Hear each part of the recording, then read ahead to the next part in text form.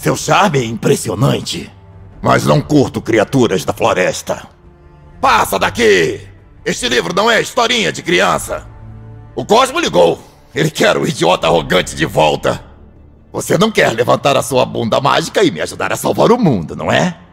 Negativo, mundão! Negativo! Eu o repreenderia por sua estupidez. Mas você parece tão orgulhoso dela. Tatuagens maneiras. Elas conduzem energia única. Não? Que pena.